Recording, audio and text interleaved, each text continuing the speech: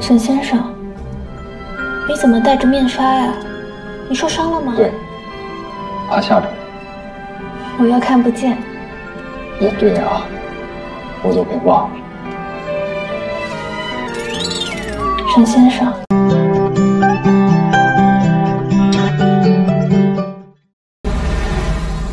你帮我出个主意。厉英良发现了我和他的关系，要对他下手。他现在不方便再出门露面了，他一直待在家里，倪太太恐怕会继续虐待他。我有个好主意。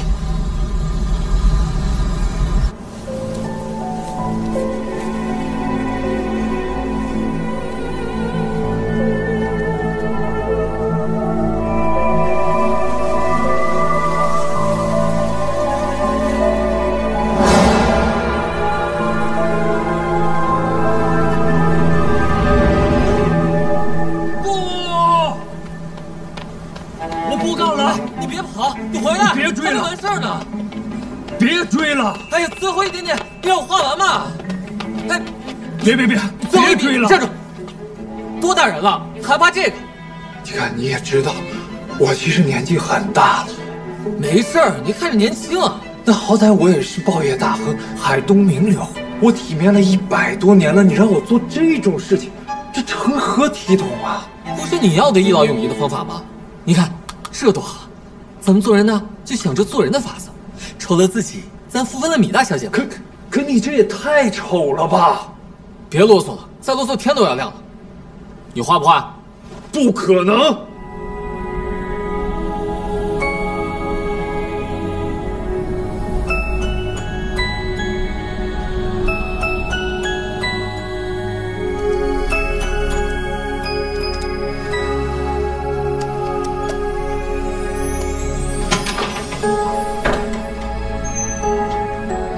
沈先生，是你吗？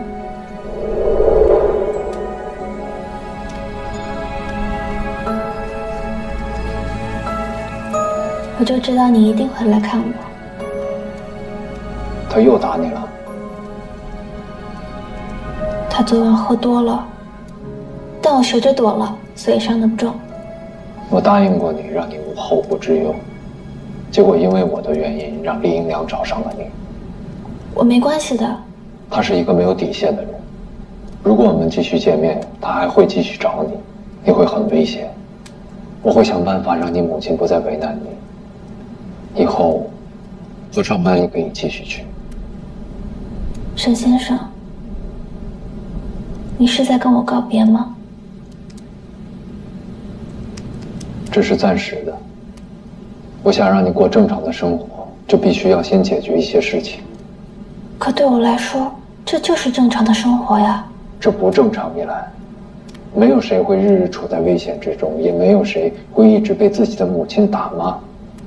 我不怕，但是我不能。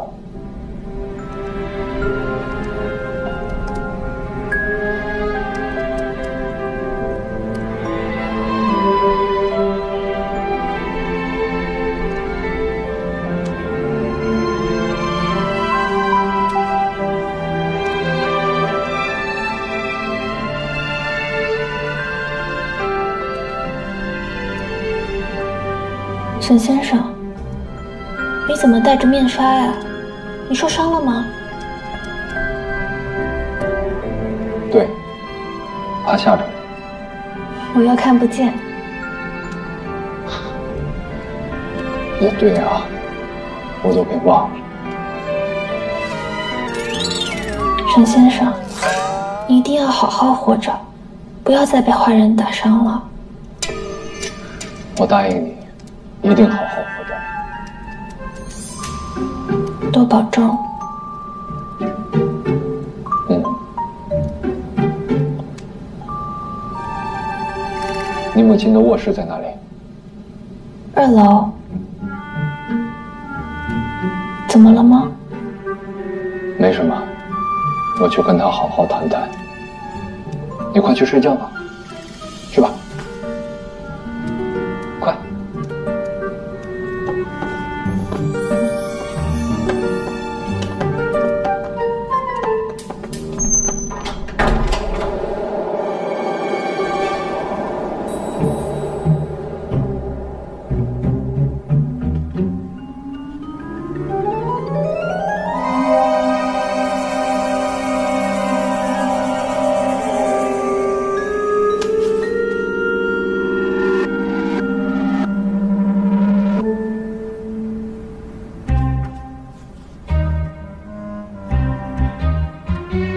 啊，闭嘴。我是米家的祖爷爷，你这个恶毒的婆娘做了什么错事，你知道吗？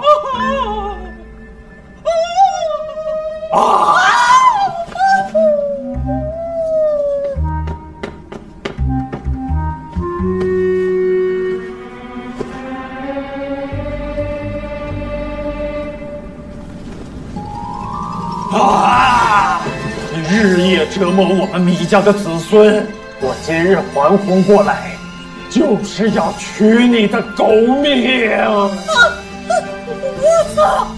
我操！我操！念你是我们米家子孙的亲娘，你若是有悔改之意，我可饶你一命。我有，我有，我有！你日后若敢再犯，我便带你到米家的列祖列宗之前，受血池地狱之苦 我。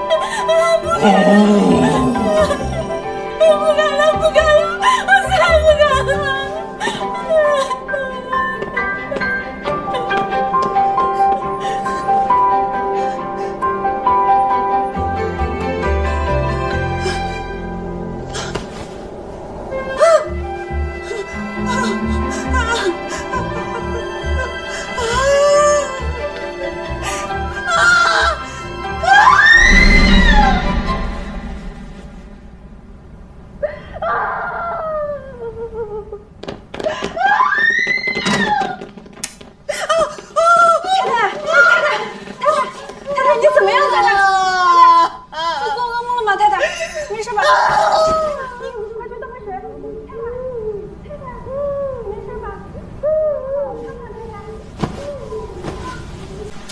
小姑娘，有什么事吗？请问这里是安南区警察局吗？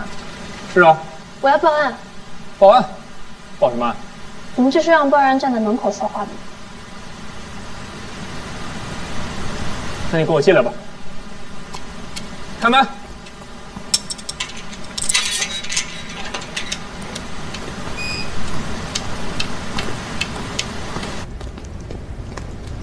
厅长，这位女孩来报案。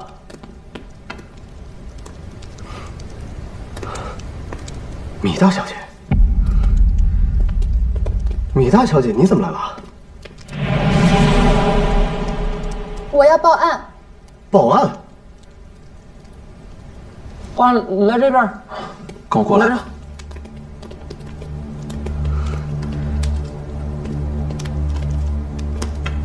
怎么了？认识啊？说说说。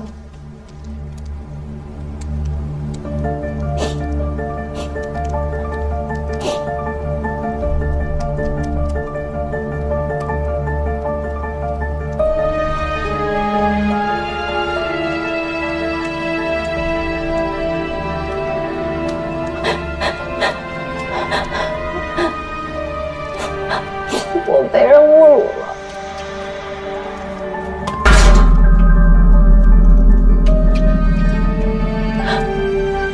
谁欺负你了？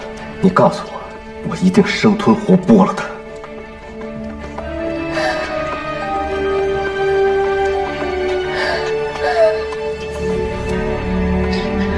是《海东日报》的社长沈志恒。李涵，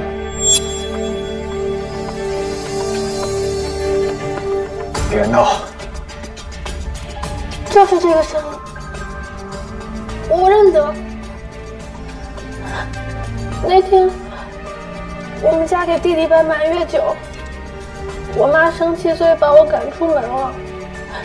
我走在街上，我一个人，他就突然出现，发了光似的扑过来。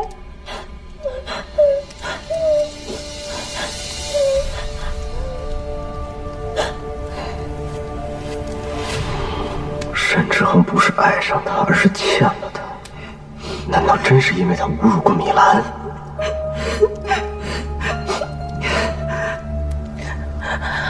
李叔叔，那天是你救了我，你记得吗？是你送我回家的。我的天，啊！大名鼎鼎的沈之恒居然干这种禽兽不如的事来，这么幼小的盲女，你你怎么下得去手？你他绝对听错了，不可能，这绝对是污蔑！沈先生就不是这样人。他是怎么发狂的？我是一个瞎子，我看不见，他就突然扑了上来，他身上好像还流了很多血，他还打我了。你你当时不是跟我说是你妈妈打的你吗？就是他打的我。那天我因为心里害怕，我就谎称是我妈妈打的我。我听说今天他被关进来了，我才赶来报案的。你确定是海东日报社社长沈之恒吗？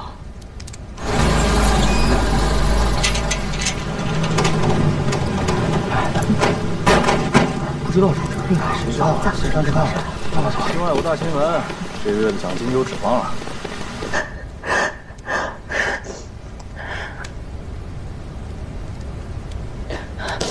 光听声音，我认不出来。那天我挣扎的时候，我摸了他的脸。如果我能再摸一次的话，我就能确认。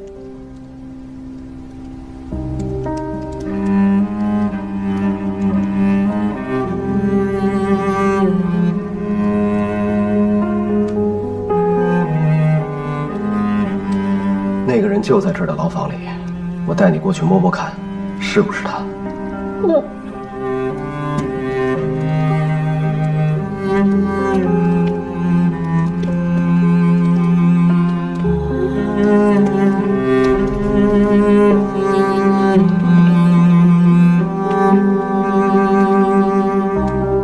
摸索过大千世界的手，回家去。画出了。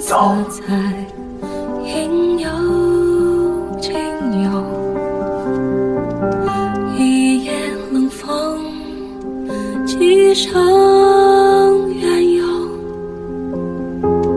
除了你以外，别无他求。哟，来的正是时候，大家赶快拍，赶快记。海东日报社社长沈之恒，有名的报业大亨，先是袭击伤人，后是侮辱盲女，现在人家主动过来报案了。你们好好拍，把这些全都拍下来，明天公之于众，明天就会成为新闻头版，让全海东人看他是什么货色，让世人看看他做了什么丑陋的恶行。沈先生，我来叫您了。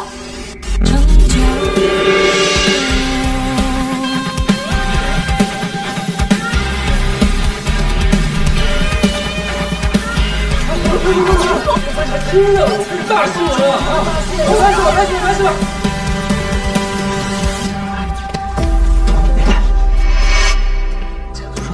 你看你干什么？